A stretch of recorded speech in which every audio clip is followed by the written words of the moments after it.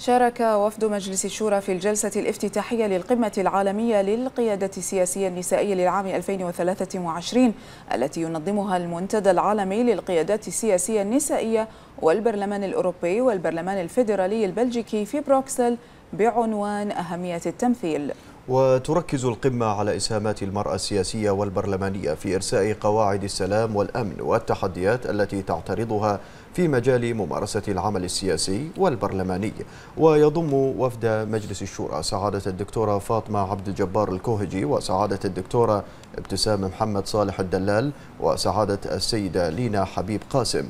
وناقشت القمة إسهامات المرأة السياسية والبرلمانية في إرساء قواعد السلام والأمن على مستوى العالم والسبل المثلى لتجاوز الصعوبات والتحديات التي تواجهها لتوليها قيادة التطوير والنماء في الأوطان. فيما استعرضت القمة أبرز الخطوات والإجراءات المطلوب اتخاذها لتعزيز وتقوية مشاركة المرأة في بناء السلام والأمن الدوليين والعمل على تفعيل مبادئ وقيم التوازن بين الجنسين والتعويل على الكفاءات والعطاءات بعيدا عن النمطية والجندرية.